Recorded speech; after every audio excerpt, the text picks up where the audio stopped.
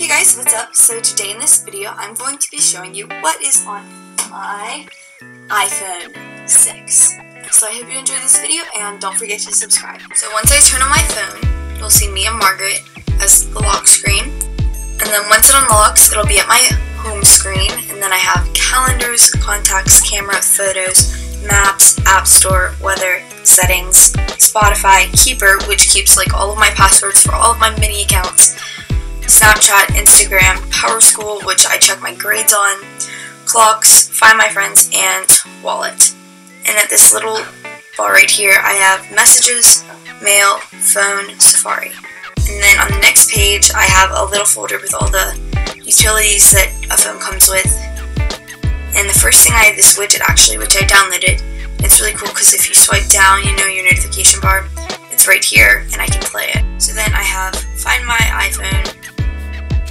Stocks, FaceTime, Calculator, Voice Memos, Game Center, Compass, iTunes, Health, iBooks, News, Videos, Music, Watch, Podcasts, and Tips.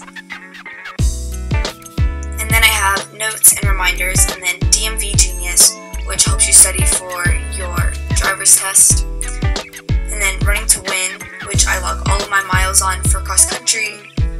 Um, because I have to get a certain amount of miles this summer. And then I have Fitbit, Clue, and then Plant Nanny, which I log how much water I drink. And it waters a plant, and then the plant grows. But then if you don't hydrate, the plant starts to die. So you drink a water bottle, I log it. And then I have Musical.ly, VSCO, Followers Plus, Yogurtland, Pinkberry, Rita's, and Starbucks. And those are all Yogurtland through Starbucks, you know, are like apps.